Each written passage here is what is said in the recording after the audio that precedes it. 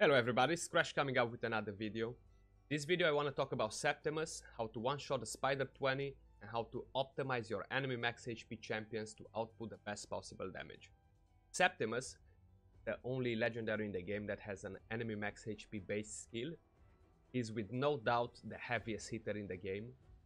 So today, we are not going to talk about his utility in Clan Boss, we are going to talk about his utility in dungeons, more specifically the Spider Dungeon. First, let's have a look at his gear. He's on a Savage set and a Cruel set. Both of the bonus sets added up together will ignore a total of 30% of the enemy defense, which makes him hit extremely hard. His total stats are 35k HP, 3.7k attack, 1.9k defense, 181 speed, 79% crit rate, 285 crit damage, and 247 accuracy. His A2 really does not scale on attack, so you can give him a HP chest or a defense percentage chest piece, it's not a problem.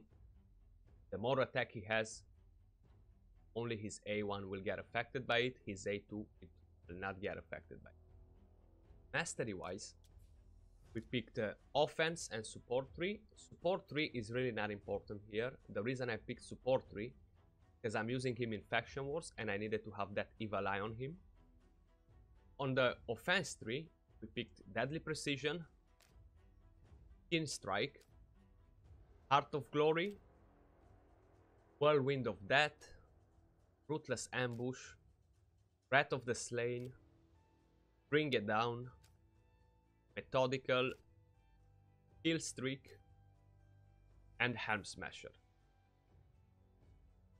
Now, talking about how to optimize your enemy max HP champions, it all comes down to two things, gear and masteries. The best two sets are Savage and Cruel. To get a good Savage set, I admit is a real pain, but uh, Cruel sets they drop daily from Clan Boss rewards, and using three Cruel sets on your Septimus, Royal Guard, Cold Heart, or even Armiger will make them ignore 15% of the target's defense. Damage-wise, uh, that's the equivalent of more than 20 to 30% crit damage. Mastery wise now is really important for you to be able to get on them Keen Strike, Heart of Glory, Ruthless Ambush, Bring It Down, Methodical, Kill Streak, and uh, Helm Smasher. That being said, guys, let's move over to the part where we one-shot the spider and uh, I'll explain you everything that's required to do it.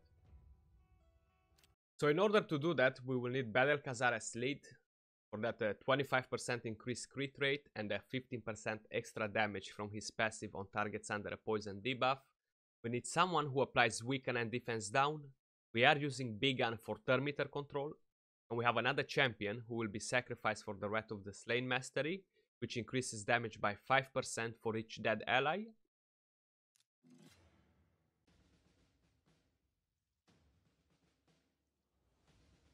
We are gonna apply a weaken and defense down, the poison uh, debuff from Big 'Un, uh, from uh, Bad-el-Kazar, the turn meter control.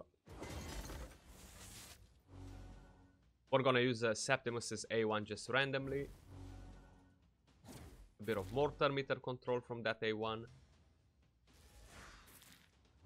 Now, Wrath of the Slain got activated uh, when we lost uh, our ally here. The next step is to activate the kill streak, which increases the damage by 3% for each enemy killed uh, and stacks up to 12%.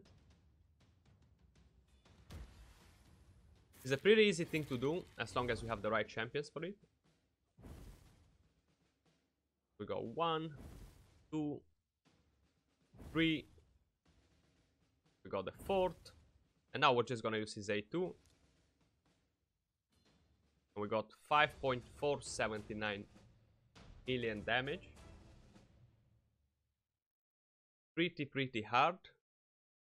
If you guys enjoyed this video, thumbs up, subscribe for more uh, videos, and uh, I'll see you all soon. Stay safe and uh, take care.